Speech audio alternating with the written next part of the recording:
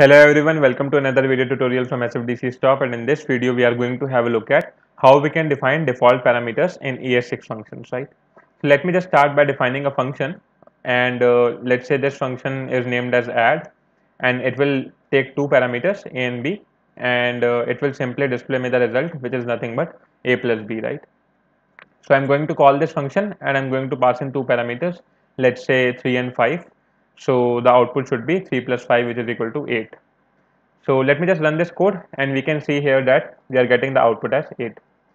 Okay, so the point is how we can define default parameters in this particular function if I want to do that, how I can define default parameters, right? So let's say I want to define a default parameter for B. So before ES6, what was the thing? Uh, we used to do it like this. So B is equal to, uh, and then I'm going to write B here and I'm going to add a conditional operator and uh, I can simply say that if b is defined I'll be using its value and in case b is not defined I'll be using let's say 2 as the default value right. So what I'm doing here I'm adding a conditional operator which will check if b is defined then it will be using b and in case b is not defined it will be using 2 as the default value for b. So let's say I call uh, I call this add function without a second parameter now and uh, I just clear the console and run this code. So here we can see we are getting the value as 5 because 3 is the first parameter that I am passing. So it is the value of a. And for the value of b I haven't passed anything. So that is why it is taking 2 as the default value for b which I have defined here. And uh, it is showing me the result as 5 right. Now let's say uh, how we can define default parameter in in case of ES6 right. So in case of ES6 this particular syntax becomes a lot more easy. And what I what can I do? Let's have a look at that. So I'm just going to comment this code and uh, I'm going to write another function for ES6. So this time what we can do, we can directly assign a default value to b as 2. So this is how you can define default parameters now uh, in JavaScript functions that in case you don't have a value, uh, it will be automatically taking the value which, which is defined out here, right? So I can run this code again and I can simply see here that I'm getting the result again as 5 because this is the default value which is being used uh, in case I haven't defined any value for b, right? Okay, so this is how I mean we can define default values in function. But the point is, what if I'm passing an object to a function? Because there is a catch in this particular syntax as well. That in case I'm passing an object to a function, then we need to take care of uh, some particular uh, things, right? So let's let's create another function, and uh, I'm going to name this function as let's say person age, and this function will receive two parameters. The first is the age of the person, and the second parameter will be the first name and last name of the function. So this is the first name and this is the last name. And uh, let's say I'm just going to add a console.log here. So this console log will be uh, let's say first name. And uh, I'll add a plus sign. And then I'll add a space. And then I'll add a last name right? And then I'll add a plus sign. And then I'll add a space again and uh, then I'll add a plus sign and then I'll add uh, first name and first name uh, and then I'll add is over here. And uh, after that I'll add age and then I'll add uh, space and then I'll say years and then old right? So this is this is going to be something like uh, if I pass in Richard and Hendricks and pass in the age as 20 so it will show me like Richard Hendricks are is 20 years old so it should be last name right? Okay let me just call this function person age. I'm going to pass the age as 20 and i'm going to pass an object which will receive the first name as richard right? And uh, it will receive the last name as uh, hendricks right? Hendricks. Okay so let me call this function and let's see what happens right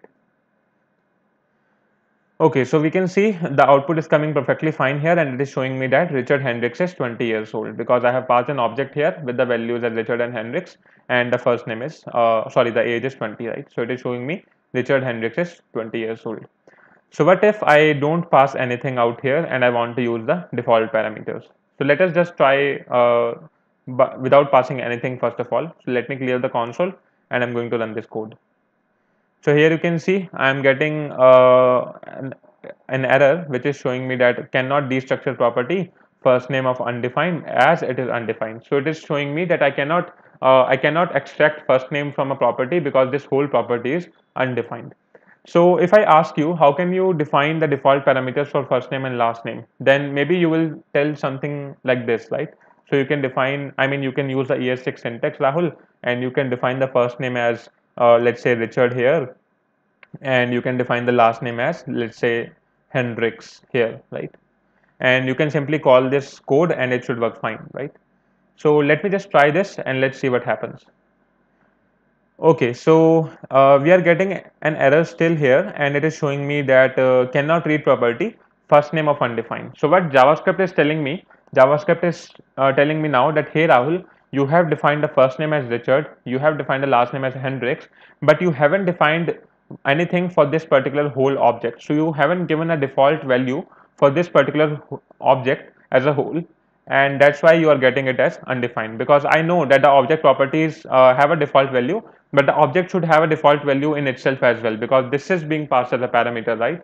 So the parameter is undefined then I cannot definitely read a first name and last name of an undefined object so what can I do for this particular case I mean there are two things let's say if you want to pass a empty object from here then it should also work fine because anyways you are passing an empty object right and it is going to take the default value as first name and last name let me just clear the console and try it again. So in this case, you, are, you can see here that we are getting our output, which is Richard Hendricks is 20 years old, because I am passing the uh, default value from the parameter itself.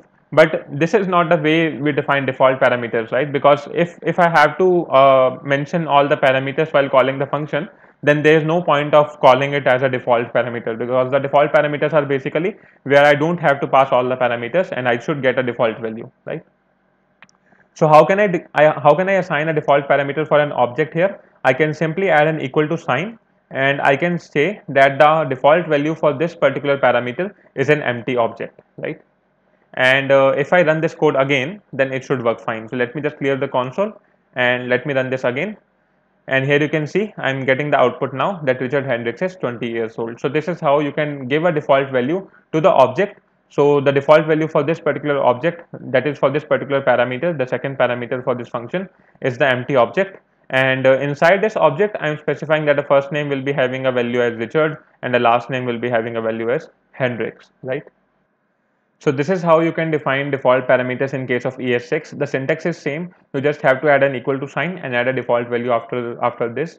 So in case of objects, you just need to take care of this thing that you have to define an empty value or an empty object for the whole object as well as you have to define the default values for the keys that are inside the object. Otherwise, these keys will be undefined, right? So this is how you can define the default default values for the function in ES6 JavaScript, right? Okay, so that's all for this tutorial everyone. I hope you liked it. Let me know your feedback in the comments down below and I'll see you in the next video. Till then, have a good day. Bye-bye.